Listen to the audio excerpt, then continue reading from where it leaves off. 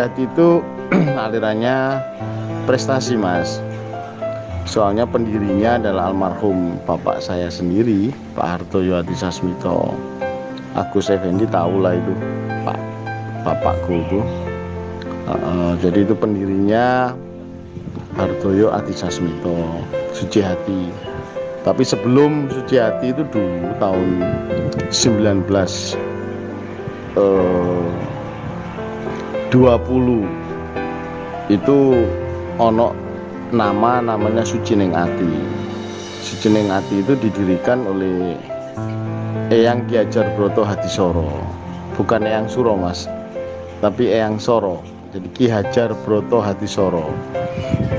Beliau mempunyai empat siswa termasuk almarhum bapakku Hartoyo Hadisasmito Pak Asmaring Tilam Pak Rahmut karo eh, Pak Rahmat. Rahmut karo Rahmat. Jadi empat orang. Nah tahun 57 eh, bapakku itu berpikir kalau nama Sucining Ati itu hanya untuk intern eh, lingkupnya yang dipahami oleh orang Jawa ya kan gitu. Suci neng ati. Nah, kata-kata suci neng ati itu jadi tahun 57 izin karo yang Soro diajar bodoh hati Soro bapakku itu untuk mengizin merubah nama agar supaya bisa difahami oleh semua suku. Jadi beliau mengusulkan nama suci hati. Jadi kata suci neng hati diganti menjadi suci hati. Jadi bahasa Indonesia yang bisa dipahami oleh semua kalangan gitu mas dan Alhamdulillah waktu itu disetujui oleh Eyang Soro dan akhirnya suci hati itu eh, ada sampai sekarang ini. Gitu mas. Ceritanya seperti itu. Nah untuk masuk ke Ipsi Lumajang itu tahun 77 mas. Tahun 77 kita sudah masuk IPSI Kabupaten Lumajang. Waktu itu masih perguruan itu ya masih sedikit.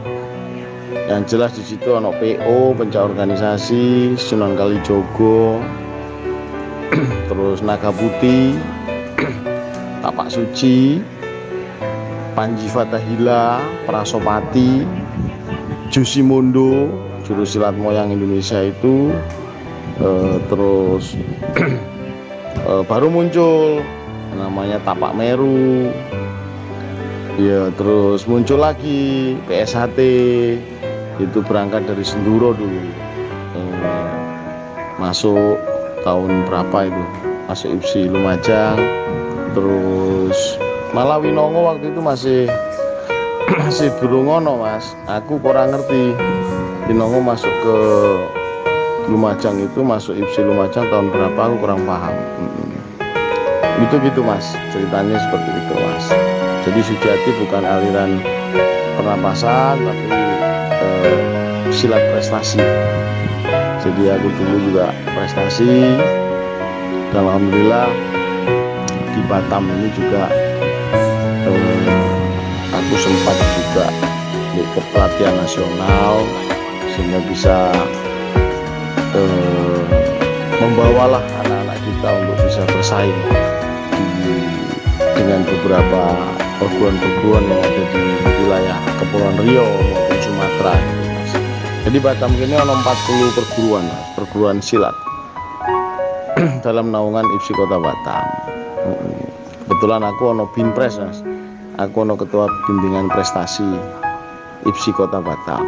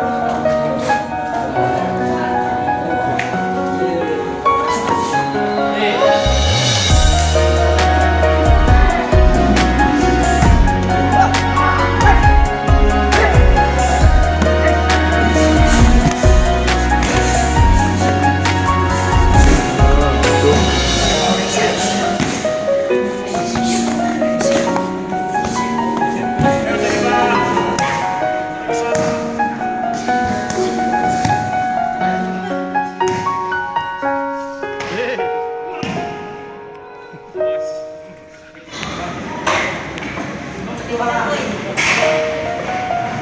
迎。